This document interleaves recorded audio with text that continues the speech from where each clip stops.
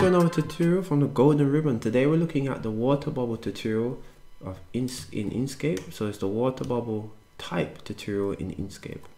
So I've got my type here and I've got my background here which is just an image, wallpaper image of droplets I downloaded and I put a blue um, 70 transparency um, box over it okay and the bubble is not a font. This is not a font. I had to um, I couldn't find a, a bubbly font that was free. So what I did then is, is I decided to hand type this. So if I just go ahead and next door copy and paste. Yeah you can see this is the scan of the hand type that I did. Good.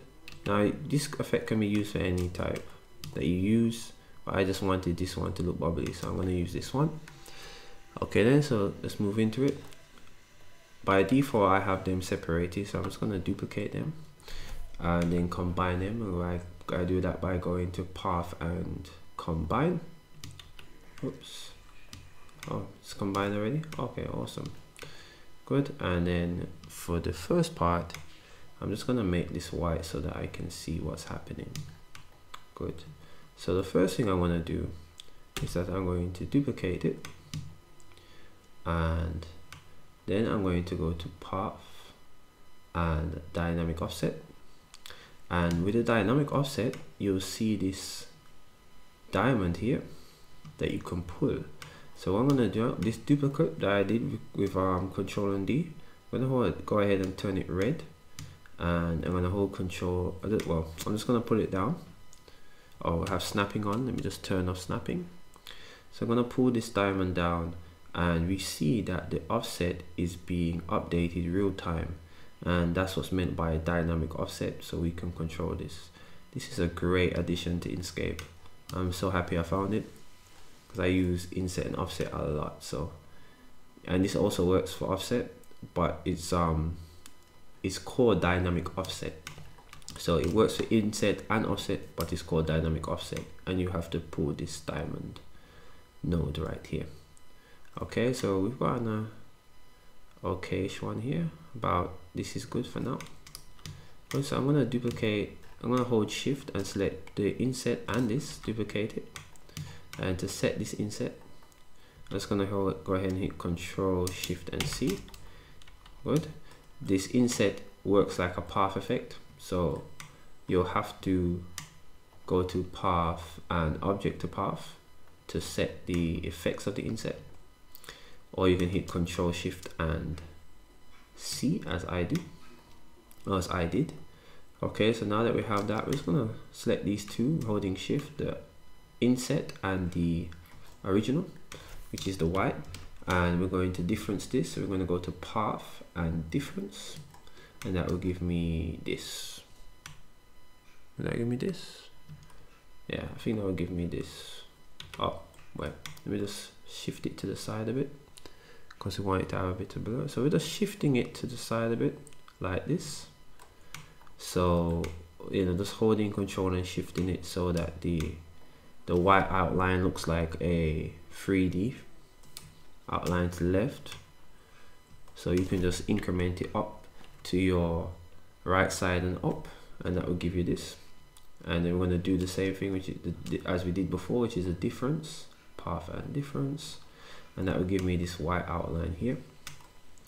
Good I'm going to change this to a black. And we're going to just give it a slight blur. Good. All right now this will give me a drop shadow effect. Now I did you could use the filter for the drop um, shadow effect but I decided that this one's actually better because I don't have to worry about um, it retaining the original shape that was drop shadowed you know and that gives me a bit more control. So we have the bubble right here and we have our drop shadow. Good so for the next part we're going to go ahead and duplicate these two once more you know with so holding shift and selecting both the white and the red. Duplicate it with control and D. And we're to go ahead and make the top. So to do that let's go ahead and just come down here. Oh we're gonna have to re-inset this. No the inset is still on so I'm just going to increase it a bit more but I want it a bit higher like this. I think this looks good. Good. And then we're going to difference these two again. So I'm just going to go ahead and hit control shift and C to set the inset select the white and we're going to go to path and difference. Good. So we have a drop shadow and we have a blue border at top. And I'm going to give this a blue good. And let's go ahead and just give it the color blue. Awesome. Let's make this even slightly darker if you want to. So we have a shadow and a blue border here. Good. And that will make for the start of this. So the next part that we're going to do is that we want to actually have our background. So I'm going to go here let's drag this down for a bit. Duplicate it. And bring it down so that we have it underneath here. Let's give it a different color. And we're going to concentrate on the one that we have here. Good. So this one we want it to be this color blue. Good. And then we're going to open up our layers. So we're going to go to object. See an object? And layers. Is layers this way? I find layers again no layers has its own tab sorry. And we're going to go ahead and show layers oh. All right we're going to go ahead and open up the layers dialog box. You can hit control shift and L to do that. Add a plus sign. Good.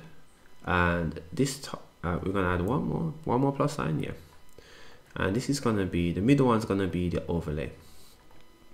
Good so we're going to go ahead and just use control and X which is going to cut that blue that we had here. I'm going to select layer 2 here and we're going to hit control alt and V which pastes the blue text in the exact position for which it was cut. And if we take this out we notice that um, this is indeed on the second layer.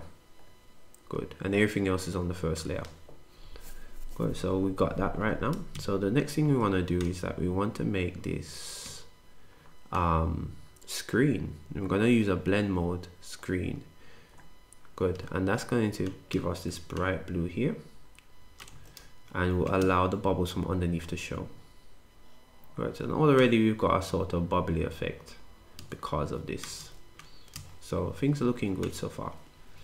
All right so for the next step what we want to do we're going to bring up mm-hmm. our we're going to bring up our duplicated bubble that we duplicated beforehand. And I'm going to go to layer 3 and just paste it with control shift and V and bring it up.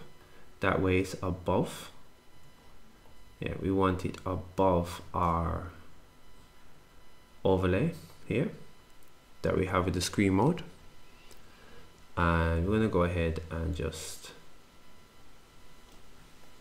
bring this down a bit so we can see what's happening come up a bit closer. All right so the next part with that we're going to just duplicate it once more uh, with control and D and then we're going to go to path and dynamic inset offset once more. I'm going to drag this in a bit. And let's give it a different color so we can see it differently. I think this looks about right.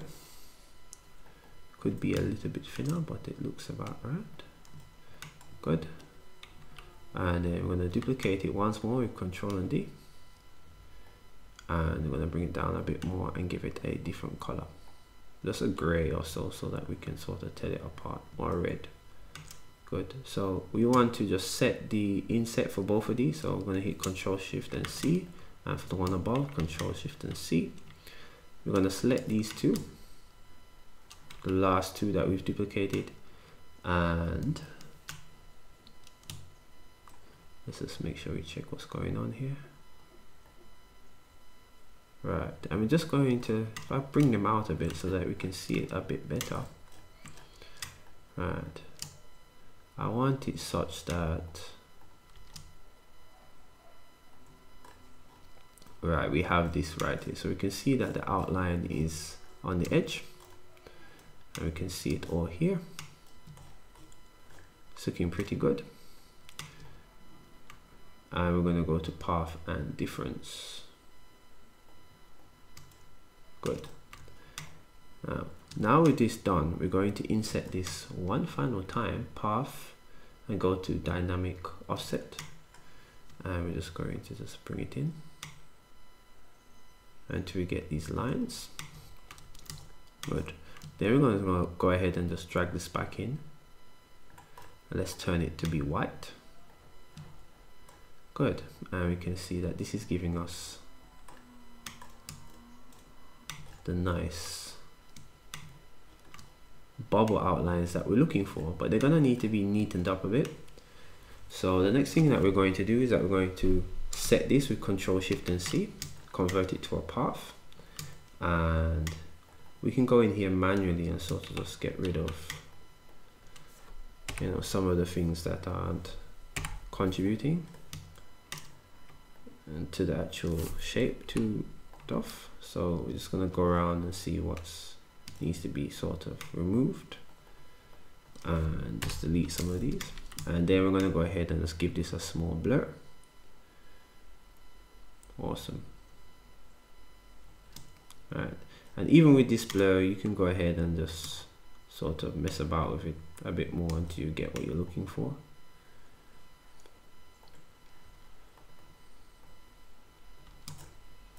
but that gives us this bob our bubble effect here. Uh, that gives us a sort of extrusion effect. And if we remove the blue that we had duplicated there we see that we have our outline too. Good. Awesome. Yeah this looking good. All right we don't want this so black. Let's go ahead and see if we can make this a blue cool. It's a blue.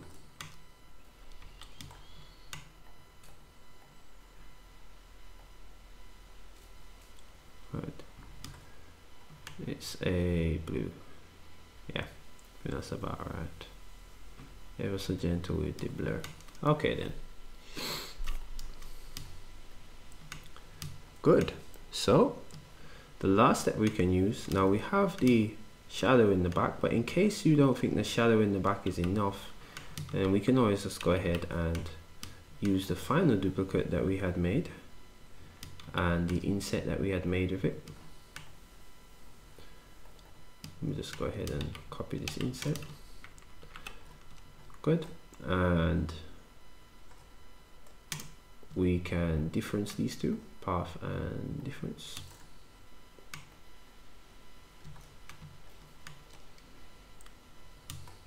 let's make this white so that we can see what's actually happening.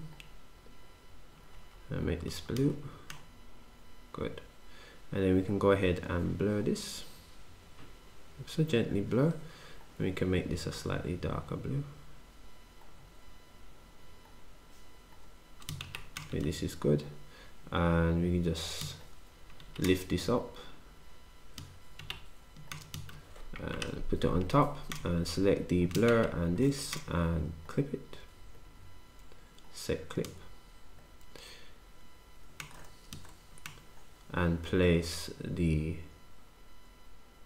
clip over the text for the final blue effect. And that is the end of the Inkscape water bubble text tutorial We've used extensively the dynamic offset as well as the boolean tools to get this effect. Really, really nice effect. Can be used for any type that you want to use it for. You know, um, good for these type of projects that you have. I hope you enjoy this tutorial. If you have any questions, be sure to ask them in the comments. Um, if you have any suggestions you know be free to add them. That helps the community that adds helps me that helps everyone and I appreciate that. I don't presume to know everything. So if you have any um, information feel free to share it. You know but until I see you again with another Inkscape tutorial get up and design a new door. Later